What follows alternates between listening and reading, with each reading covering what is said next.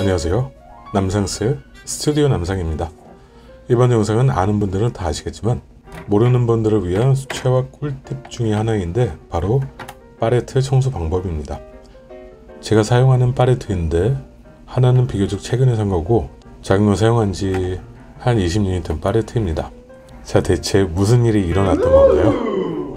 과연 누구의 잘못인가요? 저도 틈틈이 스테인 제거를 해주지만 더 금방 스테인이 남기 때문에 이번에 스테인 제거 방법을 알려드릴게요.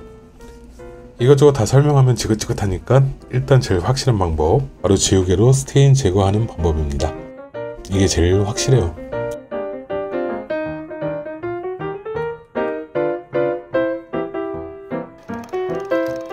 자 보이죠? 지우개로 지우면 금방 하얘지는 거 그냥 미친 듯이 생각 없이 지우개로 딱딱 닦아주면 됩니다.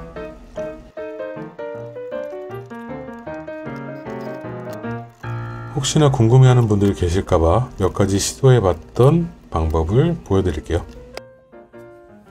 두 번째는 알코올로 닦는 방법입니다. 알코올은 기름 성분이 있는 걸 닦았는데 더 효과가 있습니다. 별로 효과는 없네요.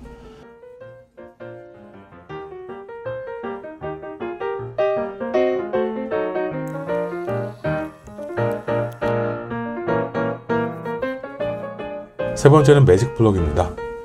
광고에서는 뭐든지 새하얗게 닦아주는 것처럼 말하지만 그다지 효과는 많이 없습니다.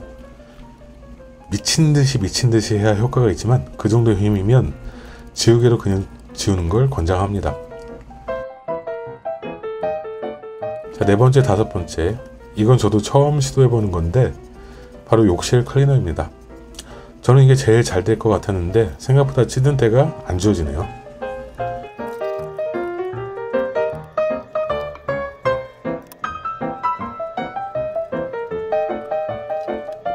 다섯 번째, 과탄산소다와 베이킹소다를 끓는 물에 혼합했을 때입니다.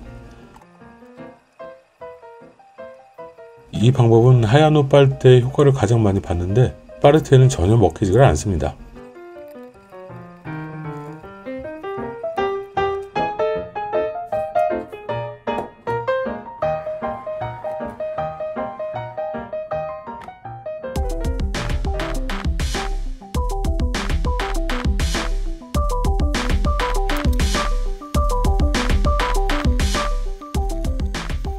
결론은 지우개로 지우는 게 최고. 힘들게 이것저것 찾지 말고 파레트 더러워졌을 땐 그냥 지우세요.